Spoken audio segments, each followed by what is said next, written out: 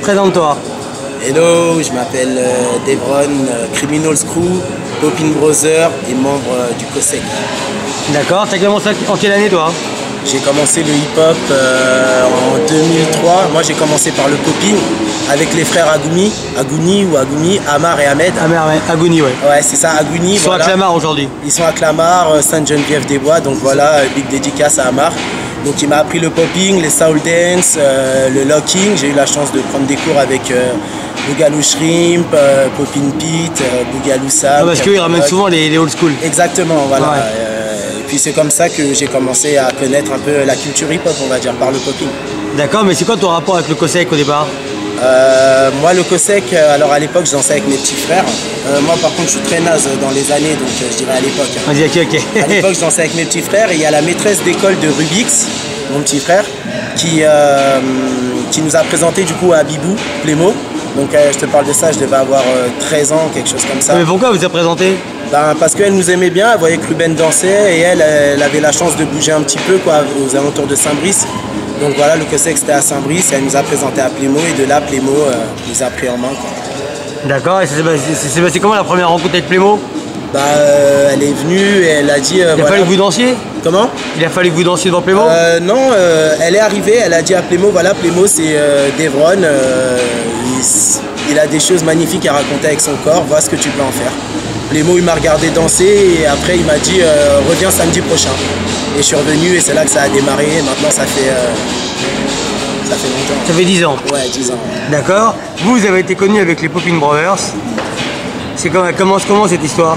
Euh, les Popin Brothers, ça commence en 2003. Donc il y avait Comen à l'époque qui popait. Il avait fait pas mal de battles à l'arène que tu avais organisé Ouais, à l'époque. à la défense. Euh, ben, on a commencé par euh, avec Rochka, Comen. euh, ben, c'était Popin Brothers. C'était issu un peu du, des cours de danse d'Amar. Ouais. Euh, comme on habitait dans la même zone à Deuil-la-Barre, on s'est mis ensemble, on s'est mis à popper. De là est venu C. James, que je connaissais du lycée, que j'avais déjà vu boxer et danser aussi. Boxer? Euh, beatboxer. Ah oui, boxer, ouais. tu connais. Donc, euh, et de là, on a commencé à former. Il y avait mes frères, moi.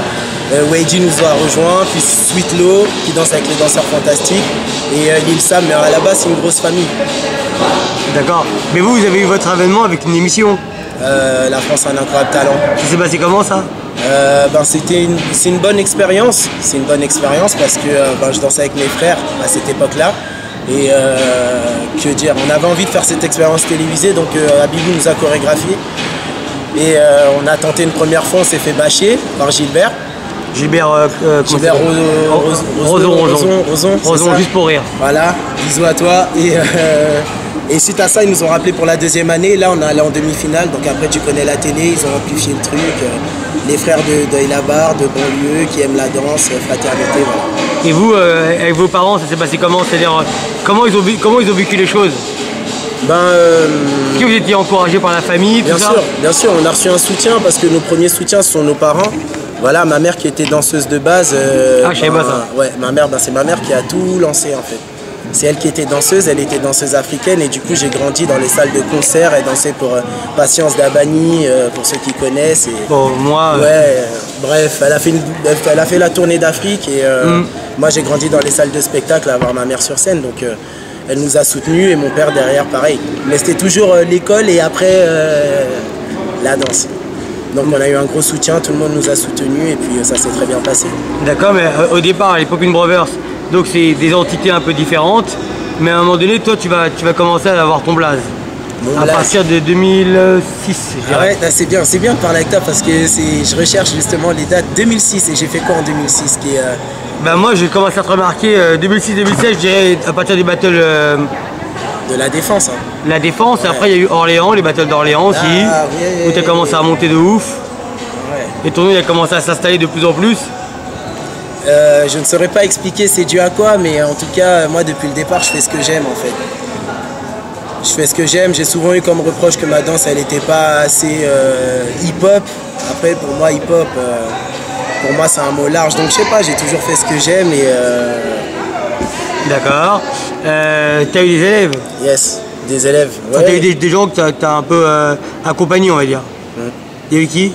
Il y a eu euh, ben, mes petits frères, euh, Rochka, Rubix. On va dire vraiment, il y a eu trois personnes que j'ai que j'ai accompagnées dans le développement euh, personnel et physique, c'est Weiji, Roshka et Rubix. Voilà, parce que Roshka et Rubix, ce sont mes petits frères. Et Weiji, je l'ai rencontré quand il avait euh, euh, 12-13 ans, par C. James. Donc euh, voilà, je pense que c'était la rencontre la plus fabuleuse. Et euh, aujourd'hui, il est ce qu'il est. D'accord, et déjà à l'époque, il était déjà fort ou bof? Bah, en fait, c'est pas qu'il était fort, mais c'est qu'il allait dans une direction que personne ne prenait. Ça veut dire que si James il est venu me voir au lycée, il m'a dit Manu, il faut que je te montre un petit qui s'entraîne à Saint-Gratien. Et on est arrivé à Saint-Gratien, donc à l'époque on avait la notoriété Popin Brother, donc Oui. euh, un peu tout le monde se bousculait, tout ça. Et à chaque fois que je venais dans cette salle, je voyais plein de Renois qui s'agitaient comme des oufs, et je voyais un petit blanc sur le côté. Et c'est pas qu'il était euh, le plus fort, mais euh, voilà, c'est la différence qui m'a plu, quoi. C'est la différence, il était dans son coin, et puis il a pas. euh, il n'était pas beaucoup aidé, donc c'était super cool de pouvoir lui venir en aide. Mais alors, oui, c'est une fierté. Ouais, ouais, c'est mais c'est mes- c'est ma fierté, c'est ma fierté parce qu'aujourd'hui ils, ils arrivent à, à assumer des directions qui sont pas évidentes et à proposer quelque chose de complètement différent et je vois que ça les aide à les développer personnellement. Donc moi je suis content. D'accord. Comment ça se passe euh, au sein des Popin Brothers? Est-ce qu'aujourd'hui Popin Brothers ça existe toujours? Est-ce que vous êtes toujours en, euh, vous faites des shows? Ou alors Popin Brothers c'est juste des, membres de Popin Brothers qui chacun excelle euh, à droite à gauche?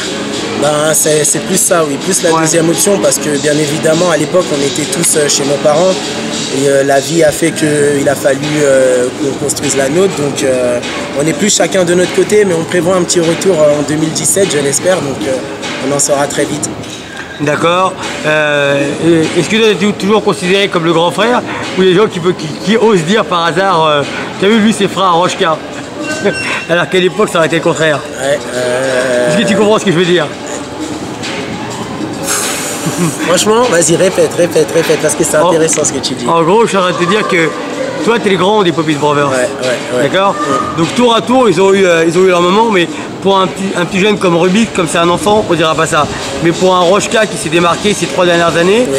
est-ce, est-ce que les gens disent euh, ouais, euh, euh, Devron, bah, c'est frère, c'est, ils disent Rochka, comme s'ils mettaient Ouais, je Rochka devant toi. avant moi, ben, c'est simple. Moi, je suis l'aîné. Hmm. Je suis l'aîné, j'ai cinq petits frères. Franchement, je veux pas. euh, le but, c'est qu'ils soient devant moi, sinon mon rôle, il est pas bon. D'accord. Sinon, je remplis pas mon rôle. Hmm. Mon rôle, c'est que mes petits frères, ils soient euh, un, euh, 10 crans au-dessus de moi. C'est ça mon, mon rôle d'aîné. Donc, euh, Rochka, il, il a un très beau parcours et euh, moi, je suis très bien avec moi-même. Donc, on vient me dire, oh, euh, je vois ce que tu veux dire, genre, comme quoi je suis. Ouais. Voilà, c'est Rochka qui brille. Ben, moi, j'en suis fier. Je préfère qu'on me dise ça plutôt que qu'on le, le, le mette en dessous de moi. Quoi. D'accord. Comment vous avez vécu euh, Papa Outé? Bien. Papa Outé, on faut demander ça à Ruben. D'accord. Ça, c'est totalement Ruben. Mais, c'est là, mais toi, en tant que grand frère, euh, est-ce qu'on est venu parler de ton petit frère ou... Oui, ben, c'est c'est toujours gratifiant parce que on- voilà, c'est des gens qui ont apprécié, c'est des gens qui ont aimé le travail. Donc, euh, moi, ça, on l'a bien vécu si tu veux savoir. Voilà, c'était quelque chose de positif. Après, ce qu'il était un peu moins, c'était peut-être, euh, voilà, les gens, ils ont tendance à un peu trop pousser. Ça a frôlé un peu le harcèlement, mais bon, on était Ouais. bien encadrés par Plémo, nos parents, les Twins, qui nous suivaient beaucoup à cette époque-là. Donc, euh, voilà, ça fait qu'on l'a bien vécu. D'accord. Toi, accessoirement, à côté, il me semble que tu as une boîte de caméra, quelque chose comme ça. Ouais, on fait de la vidéo, Voilà. Ouais, voilà, ben GM Artiste. GM Artiste Et avec. moi, je t'ai euh, découvert au Battle Bad avec ça. Ouais, ben c'était les tout débuts. En plus, Battle Bad, j'avais même pas encore euh, créé, la, créé la boîte. Donc, euh, GM Artiste, ça fait deux ans que ça existe. Je me suis associé avec euh, Gigi Jungle, le petit Babtou que vous voyez avec, euh, avec sa petite dégaine euh, hispanique là. Et euh, ben, depuis que je suis avec lui, euh, ça a pété quoi. Donc voilà, GM Artiste, allez suivre. Toutes les infos sont là-bas. D'accord. Et C'est quoi la prochaine date que tu fais? C'est le, c'est le 17-18 Euh, Septembre. 17-18 septembre si, euh, si je suis remonté. Parce que euh, je vais, euh, début septembre, je vais m'installer dans le sud. Ah, tu vas vraiment t'installer dans le sud? Ouais, je vais bouger un peu, je vais me prendre du temps. Donc euh, je suis en train de voir avec Spyro, euh, s'ils ont besoin de moi. euh, mais avec plaisir, lui, Battle Bad, c'est euh, c'est le bébé, donc euh, on ira jusqu'au bout. D'accord. Est-ce que tu peux nous raconter une anecdote euh, dont tu es assez fier ou, euh, ou une mauvaise anecdote, comme tu veux? Moi, j'ai une- euh, du, du, de, de De, quoi de toi, on de- t'invite danseur. Bonne ou mauvaise, on s'en fout. Bonne ou mauvaise Et euh, je vais pas tu dis ça, moi, ma, ma vie, elle est avec mes, avec, euh, mes petits frères, mon crew. tous les jours, c'est un épisode euh, que tu peux détailler en 5 chapitres. Je Alors, sais pas, alors, si tu veux me raconter, je sais pas moi, un événement que tu as fait, ça t'a marqué, il n'y a, pas- y a pas une. Ouais, ouais, ouais, non, vraiment, et c'est pas parce que t'es là, hein, mais euh, moi c'est la défense. La défense. Moi c'est la défense. La défense, euh, je crois que c'était Rubix Rochka face à Execo et Louise. Il y a la vidéo encore sur internet. Oh non, elle vient d'être bloquée, mais c'est pas grave. Et euh, c'était jugé par Annick à ce moment-là. Euh, et Rubix, il est arrivé face à Execo et c'est dommage qu'il n'y a plus la vidéo. Moi, c'était le plus beau moment pour moi parce que juste avant, il avait pas pris son petit déj. On s'était embrouillé. Ça, à l'époque, il avait 7 ans. J'étais un petit peu dur avec lui. Et il est arrivé à ce battle-là. Il m'a regardé. Il m'a dit Bon, allez, je vais le faire. Et là, il a dégainé un de ses meilleurs passages. Il a pris la musique comme jamais. Et euh, voilà, je pense que c'est le plus beau moment avec Rochka derrière. Voilà, c'est l'un des souvenirs qui m'a le plus marqué. quoi. Là, on peut dire que tu étais fier. Toujours. Je peux être que fier. Je peux être que fier. D'accord. Yeah. Donc, ok. Et Et c'est des ouf. euh, alors, j'aimerais savoir, est-ce qu'il y a des choses qui te dérangent dans l'hip-hop? Euh, on va dire euh, déranger. Déranger, c'est trop large. Je dirais, il y a des choses avec lesquelles euh, je suis pas en accord. Ça me dérange pas parce que je le prends pas personnellement, mais c'est des désaccords. Après, euh, est-ce que tu as un sujet en particulier? Parce Mais que, non, mais est-ce qu'il y a, y des choses qui peuvent te déranger, je sais pas moi, des votes, des, des jurys, des organisations, des gens qui sont pas forcément corrects avec toi Bon, dans moi, milieu, un- des, des Ouais. rien. Moi, il y a un truc que je dirais, que je dis assez souvent, et c'est c'est pas les jurys ou les décisions, c'est plutôt le choix des juges. Il y a un truc qu'il faut savoir. Moi, je pense que une tête d'affiche ne peut pas forcément être un juge de battle. Pourquoi? Parce qu'une tête d'affiche, aujourd'hui, tu peux devenir une tête d'affiche en 6 mois, 5 mois, tu t'entraînes. euh, Tu... Aujourd'hui, tous les jeunes, ils sont forts. Ouais. Demain, euh, n'importe qui peut être tête d'affiche. Mais pour moi, un juge, c'est quelqu'un qui a une expérience comme ça dans la danse. Tu vois ce que je veux dire? C'est pas quelqu'un qui vient tout juste de commencer et qui voit le hip-hop que par le new style. Tu vois, un juge pour moi, c'est quelqu'un qui peut comprendre euh, le lock, le pop, la house, le break. Non pas peut-être dans la technique, mais dans ce que ça raconte. Tu vois donc euh, moi c'est le choix des juges. Je sais qu'on est plutôt dans un- une société de consommation au niveau des battles. Il faut vivre dans son temps, mais le choix des juges c'est super important. Parce que d'une, ça aide pas le jeu qui, est pris en tant que juge, qui lui va faire des décisions par rapport à des critères qui lui sont... Voilà, et euh, c'est naze, faut bien choisir les juges. Moi il y a des fois ça me saoule. Mais bon voilà, après on respecte leur gars, donc on fait le battle, tu vois. D'accord, Devron, c'est ton vrai prénom? Non. Non, Ben non, parce que je... ben non, Devron ça veut dire soleil. Ah, ok, en un quoi? dialecte, euh, c'est du Shawaï, c'est une langue morte euh, brésilienne, ça veut dire soleil. Voilà, parce qu'avant je dansais toujours avec le sourire, je peu importe qui y avait en face de moi, j'étais assez fou, tu sais. Donc euh, voilà, mon vrai prénom c'est Daryl, vas-y. virgule, Emmanuel. Voilà, D'accord, donc Devron, c'est... euh, c'est mon nom d'artiste.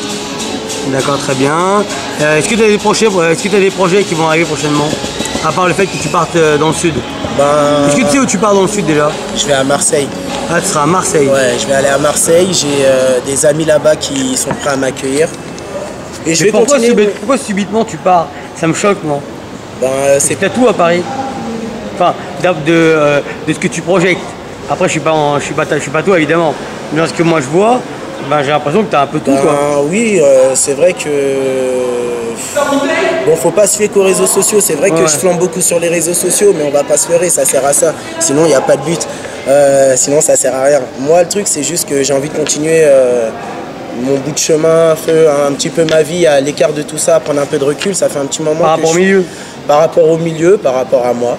Ça fait un petit moment que euh, j'avais envie de bouger, je savais pas vraiment où et j'ai des amis qui sont prêts à m'accueillir euh, là-bas. Donc je vais continuer à développer un peu Criminals euh, Style, la musicalité, essayer de développer un peu cet accès à nous dans le sud et chercher d'autres horizons parce que on sature, on s'écoute pas, on se parle à coups de sur les réseaux sociaux mais on s'écoute pas et au final on fait que de se diviser donc je me barre un peu. C'est-à-dire que tu penses que une question, tiens, ça tombe bien si tu parles des criminals. Euh, Est-ce qu'il y a un leader dans les criminals Non, il n'y a pas de leader dans Criminals. On va dire que c'est plus sur l'ancienneté que sur le leader même. Parce qu'on est tous des leaders un peu, parce qu'on défend. À partir du moment où tu défends ta danse, ton univers, tu es un leader. Donne-moi, euh, à part les Twins, une autre personne qui danse pareil qu'une autre personne dans mon groupe, ça n'existe pas. Donc on est tous des leaders, c'est difficile de choisir des chefs. Maintenant, Hiérarchie. a- voilà, on a une hiérarchie. Euh, Les Twins, ils sont là depuis euh, 2005. Moi, je suis arrivé en 2008, je vais pas leur manquer de respect. C'est comme ça que ça marche entre nous. Voilà. Donc les Twins pour toi c'est euh, les. Parce que avant les Twins je pense qu'il y avait peut-être euh, Loïc aussi non? Bah, Il y avait les Twins et Speedy Legs. Voilà. Voilà. ce sont eux qui ont ouvert le pôle euh, parce que Criminal Screw, ça a commencé via le break. Je te parle de, tu connaîtras mieux que moi, Oui. Bessie, Taf, Willy, Tevi, White, Tetris, Et puis j'en passe. Legs qui en faisait partie, qui est parce qu'il habitait à Persan. Ouais. Avec les Twins, ils ont ouvert le côté debout. S'en est suivi euh, Boubou qui les a rejoints parce que Persan, Sarcelles. Ensuite euh, Régie parce que euh, Régie il a des cousins qui habitent à Sarcelles. Et après Laura. Après c'est qui? Après c'est qui? Après c'est moi. Et après Rochka, Rubix, Weidi. Donc tu vois, même entre Rubix et Weidi, il y a un rapport hiérarchique. Et voilà, c'est ce qui fait qu'aujourd'hui on est entre nous. Mais est-ce que toi tu as le droit par exemple en tant que criminals de développer une branche dans le sud criminals Ben, je développe pas une branche criminals. Je descends juste avec, je descends avec mon blaze Devron Criminals et je vous apporte ce que mon expérience avec le groupe Criminals m'a apporté et comment elle m'a permis aujourd'hui de m'en sortir avec la danse. C'est plus un côté mental qu'un côté euh, business. euh, Je descends. Non, faut- faudrait que je demande à tout le monde et personne n'est dispo donc euh, on va éviter. D'accord. Euh, est-ce, que, est-ce que tu penses, enfin, est-ce que vous, aujourd'hui, les criminals, vous avez la même, euh, il y a toujours ce rapport entre vous qui est fraternel qui existe toujours. Aujourd'hui, vraiment, tout le monde fait sa vie? Ben, faut savoir que dans la vie, on fait tous des, on fait tous des choix et on a, au début, on est tous dans le même objectif, mais plus on grandit, plus les objectifs. euh, voilà, donc le, nous, on est plus un peu, voilà, comme tu vois, il y a des noyaux sur Paris côté underground, il y en a dans le commercial, il y en a sur scène. Comme tu dis, on est un peu une ligue des gentlemen extraordinaires. Ouais. On est une brigade. euh, on se retrouve quand faut faire, euh, quand faut faire mal, et sinon, on est tous euh, disséminés dans le monde, mais on, est on garde tous un contact fraternel. C'est notre base. On essaye plus ou moins, tu vois. Les gens, ils évoluent, les mentalités, elles changent, mais on essaye de garder une communication comme on peut. Hein, c'est pas facile. C'est pas évident. Bah ouais. D'accord. Est-ce que, que tu peux donner deux, trois noms de personnes qui t'ont apporté selon toi? Abibou. Abibou Plémo, le premier. Apporté selon moi, ben, je dirais Gabriel Noël, ma mère. Ouais. Abibou Plémo. Et vraiment, si je veux, si je veux remonter, remonter, je dirais euh, Amar et Ahmed, vraiment. Vraiment. Agni. Voilà, Agni qui m'ont ouvert euh, sur euh, la culture hip-hop. Grâce à eux, j'ai pris des cours de log, de pop, j'ai appris euh, les soul dance, les soul train, les, soul step. les- voilà, j'ai vraiment découvert le hip-hop euh, dans sa base, comme euh, The Get Down, quoi. Voilà, moi j'ai découvert à travers Ouais. les livres, les témoignages, donc ces trois personnes-là. Mais si je veux parler de hip-hop pur, c'est les Twins. D'accord. Moi, je j'ai pas de problème à le dire, c'est les Twins. Mm. Larry m'a vu, j'avais 13 ans. Il m'a dit viens t'entraîner samedi. Je suis arrivé samedi, j'ai dansé. Il a dit euh, reviens samedi d'après. Avec les mots, ils m'ont vu et euh, Larry et Laurent ils m'ont pris et ils m'ont toute une partie de mon adolescence, de mes 13 à mes 17 ans, ils m'ont. Je dormais avec eux, je mangeais avec eux, euh, j'étais sous leur aile et ils m'ont tout appris. La D'accord. musicalité. Mais, qu'en- mais qu'en est-il aujourd'hui alors? Ben, aujourd'hui, euh, moi Si vous j'ai- êtes toujours ensemble? On est toujours ensemble, ça reste. euh, je sais d'où je viens et je sais euh, vers qui je dois être redevable. Mais par exemple, là, par exemple, tu pars à Marseille Yes. Parce que tu veux recommencer ta vie, mais tu pourrais très bien partir. euh, parce qu'ils ont une maison, une belle maison à, Yes. à Los Angeles, je crois, ou à New York, je ne sais plus. Bon, ils ont, ils ont des biens. Tu pourrais très bien euh, repartir Mm, Oui. à zéro en, en aux États-Unis avec eux. Oui, mais. euh, Parce qu'ils ont tout en fait.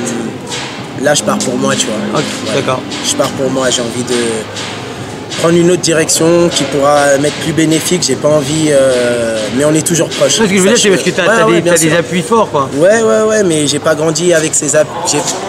J'ai... pas grandi avec la nécessité de ces appuis-là, donc euh, non, je vais pour moi, je suis débrouillard. Moi. Je préfère être euh, retranché tout seul et m'en sortir. D'accord, très bien. Est-ce que, est-ce que tu peux me citer des noms de danseurs que tu aimes en ce moment? En ce moment, Des gens qui te font plaisir, que tu kiffes, qui sont forts? Euh, Régie, Rubix, Rochka, Weiji, Boubou, Larry, Laurent, Laura, Sarcélite, Street Flow. Voilà. Ça, c'est vraiment-. J'aime bien aussi euh, Badness, mais on n'a pas la même histoire, c'est pas le même coin, tu vois. voilà, mais j'ai. Sarcellite, Street Flow, Criminal, c'est les. Voilà. D'accord. Est-ce qu'il y a un battle que tu aimerais gagner Ou participer au pire Même pas. Non Même pas. Moi, j'ai juste envie d'arriver. Et quand j'arrive, en fait, euh, je sais que tout, ce que les gens attendent de moi, c'est pas euh, que je vais. Euh, ils attendent de moi que je les fasse, que je leur raconte le truc, tu vois. Quand j'arrive, moi, je me dis pas, vas-y, je vais passer le tour d'après, j'en ai rien à foutre. Moi, je veux juste que ceux qui sont venus, le public, ça soit danseur ou pas, le père de famille, la vieille qui est au fond, quand elle me voit, elle se disent, oh, j'ai compris, il a pris le violon. Et pour ça, moi, je me, je me mets à nu avec moi-même, tu vois. Donc ça soit IPE, SDK, juste debout, bref. Ah, toi, t'es vraiment un danseur. Ouais, moi, je veux danser, moi. Et je vais au bout de moi-même. À la fin de mon passage, que je perde ou que je gagne, je dois me dire, waouh, je suis un cinglé, en fait. Tu vois? Moi, c'est ça mon but. Je vais toujours au bout de moi-même. Mais est-ce que tu penses pas qu'à un moment donné, on t'a un peu moins vu dans le milieu Pendant 2-3 euh, ans un peu? Par choix. Par choix Par choix, parce que j'ai eu euh, mes enfants et j'ai voulu assumer mon rôle de père. Donc euh, c'est un choix que j'ai fait. Et je me suis rendu compte qu'en fait, j'ai pas perdu de temps parce que j'ai quitté, j'avais 17 ans, je suis revenu, j'avais 21. Ben, il n'y a pas grand chose qui a changé. Donc euh, voilà, je me suis pas senti en retard. Est-ce que tu trouves qu'il y a un vrai respect entre l'ancienne et la nouvelle génération, ta génération et celle qui arrive? Oui, pourquoi Parce que les réseaux sociaux, mine de rien, ça nous rapproche plus qu'à l'époque. Moi, je me souviens que quand j'ai commencé, pour approcher un Joseph Go, moi, je devais aller au June, ou euh, aux coulisses.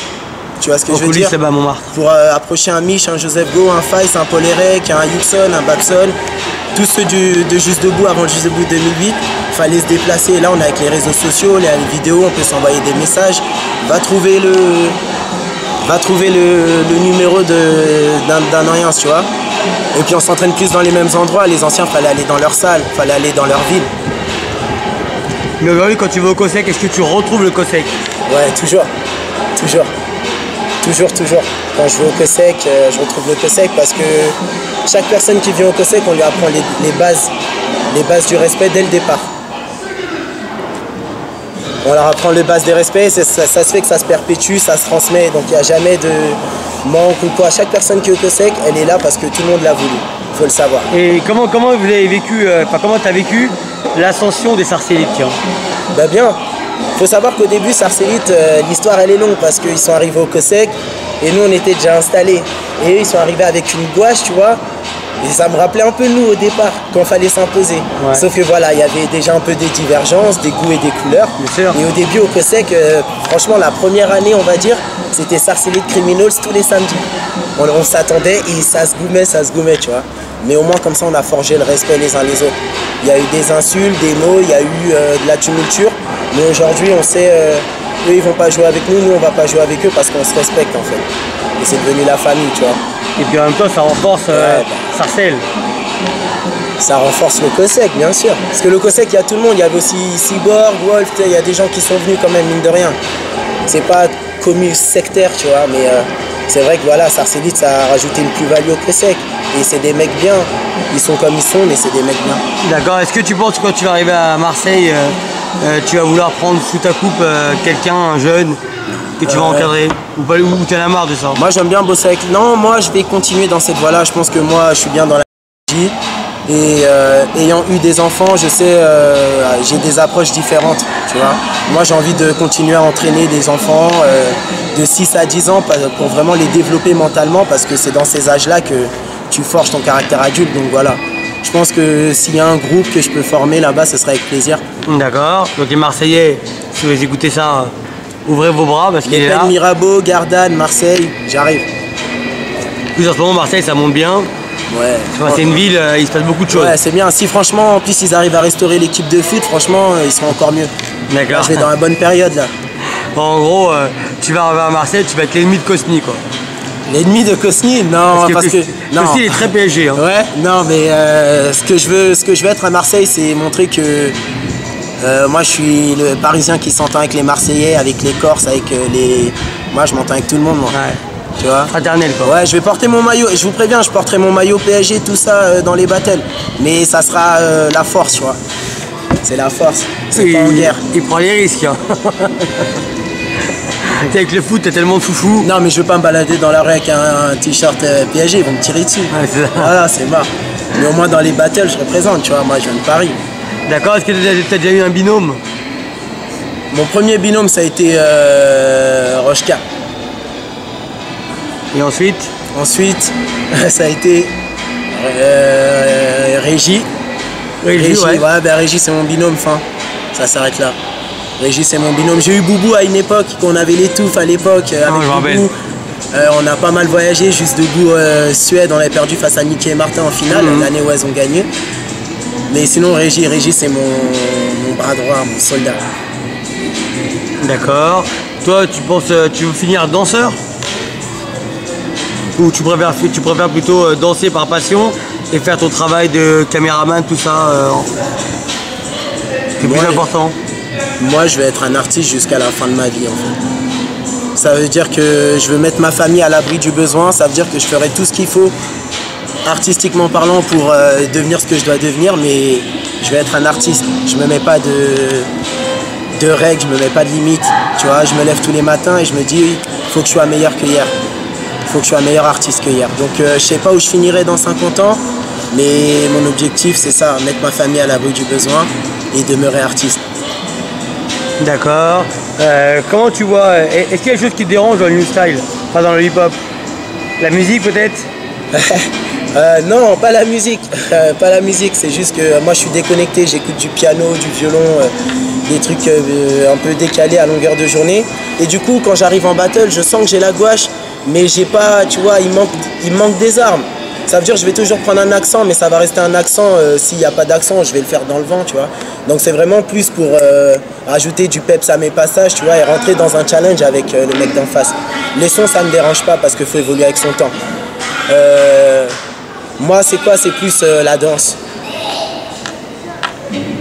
D'accord, Devon. Euh, La danse qui me gêne. la danse, c'est-à-dire? La danse, c'est-à-dire. euh, Ouais. je suis je suis pas contre ça, tu vois ce que je veux dire. Mais euh, moi, pour moi, c'est trop facile.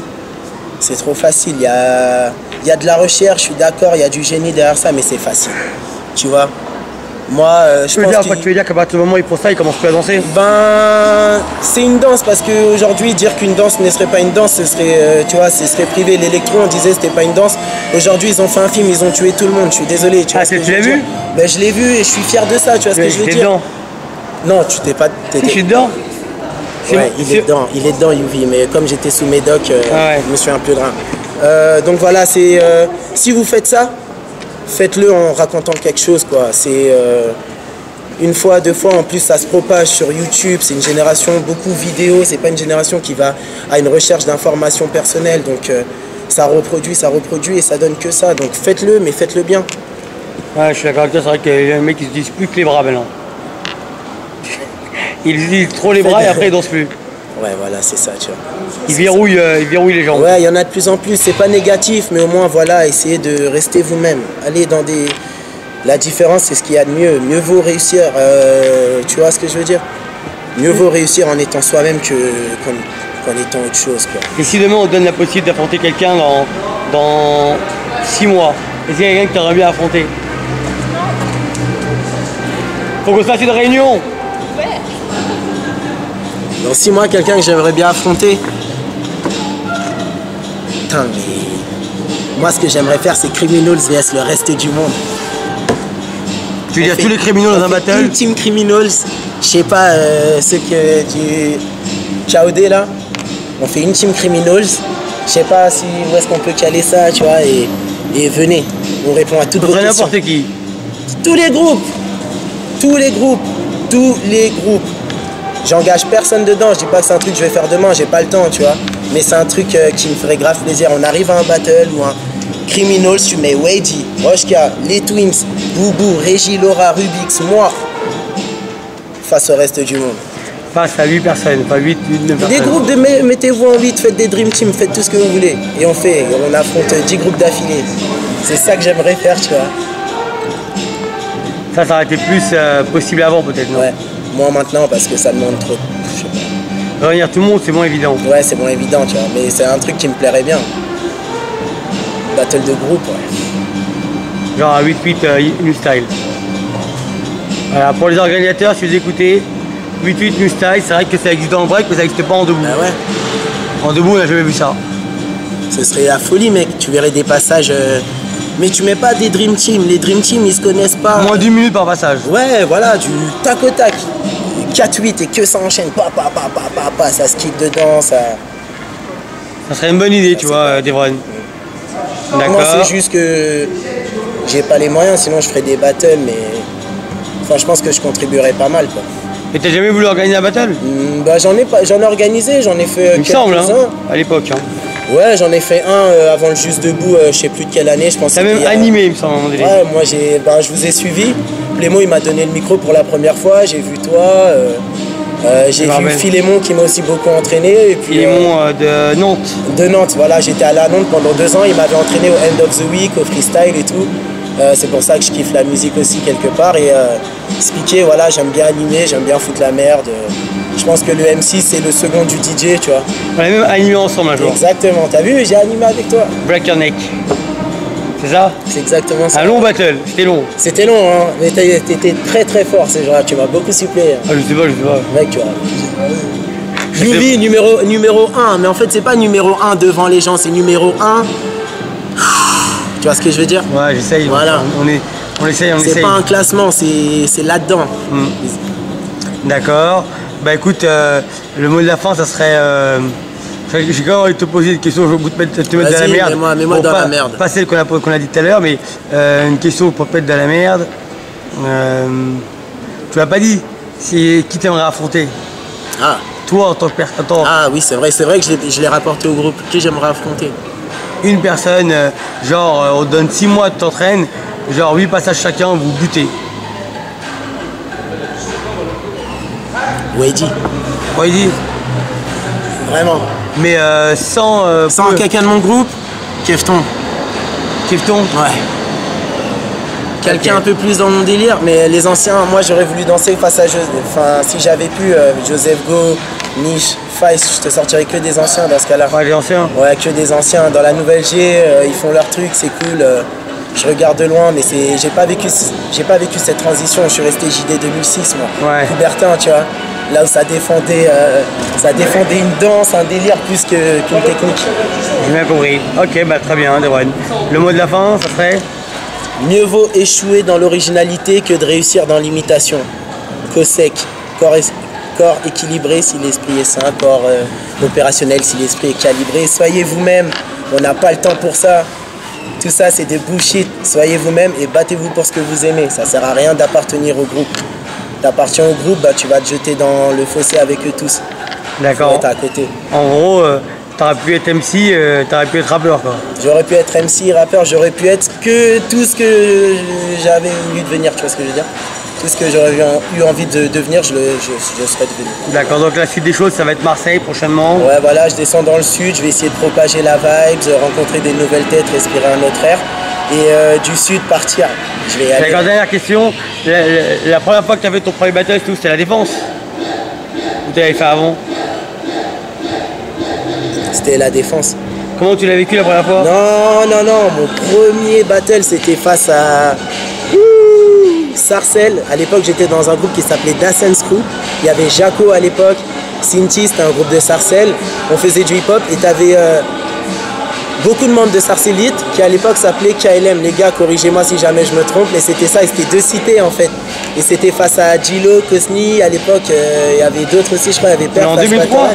Ouais, là on est loin, mec.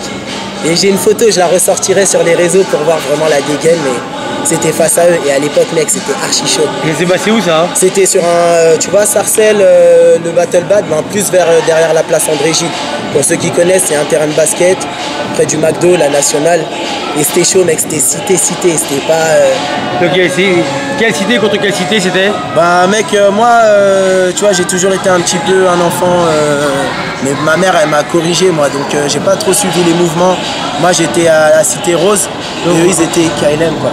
KLM. KLM, après, je sais plus, c'était Vergarge, un peu. Les gars, aidez-moi sur ce coup-là, hein. vous Ouais. des petits paragraphes, vous expliquerez tout. hein. D'accord, ça c'est ton premier battle et c'était engagé de ouf.